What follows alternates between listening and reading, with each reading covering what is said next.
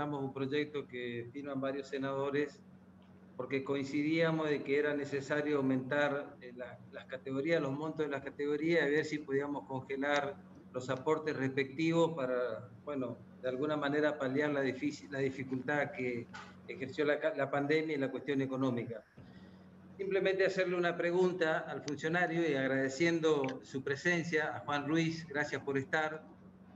Yo también en ese proyecto planteaba la posibilidad de cambiar el índice de actualización, si ellos no creen conveniente analizarlo en algún momento a esto, y la otra cosa, presidente, porque me comprometí a hacerlo, quiero transmitirle, en el día de ayer los equipos técnicos nuestros se reunieron con los integrantes de monotributistas asociados.